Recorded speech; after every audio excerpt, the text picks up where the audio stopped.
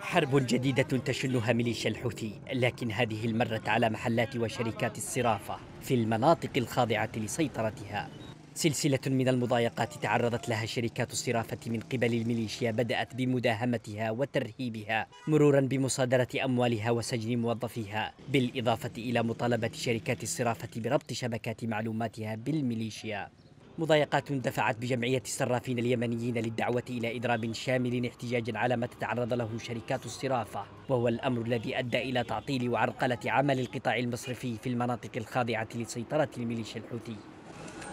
جمعية الصرافين اليمنيين أشارت في بيان لها إلى أن قطاع الصرافة بات مكبلا بإجراءات يصعب التعامل معها من قبل فرعي البنك المركزي في صنعاء وعدن. حيث باتت غير قادرة على إرضاء سلطات البنك سواء في صنعاء أو عدن. وهو ما صعب من قدرتها على تجديد تراخيصها أو استخراج تراخيص جديدة.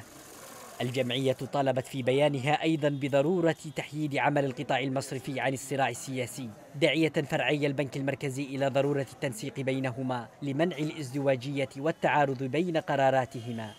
ويعاني القطاع المصرفي في اليمن منذ الانقلاب قبل خمس سنوات من جملة تحديات كبيرة. أهمها ضعف السيولة النقدية وإلغاء نظام المعاملات البنكية الدولية سويفت. الأمر الذي لم يضاعف فقط من عدم قدرتها على تسيير أعمالها بسهولة بل حد كثيرا من قدرة التجار على استيراد المواد الغذائية الضرورية للمواطنين.